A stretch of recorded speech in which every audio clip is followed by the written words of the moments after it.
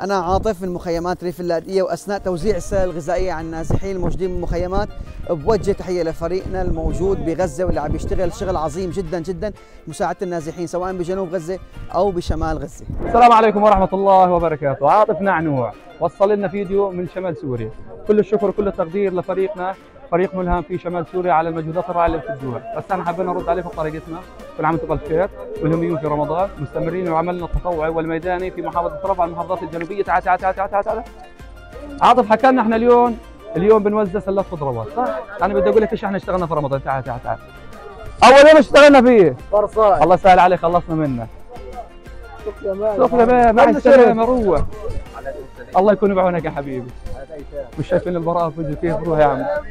حالات طبية. يلا يا عم الحمد لله على السلامة سلات خضرة ألف صحة وعافية. حبيبي يا حبيبي روح. حليب روح. تنزيل شوارع خيام آخر إيش؟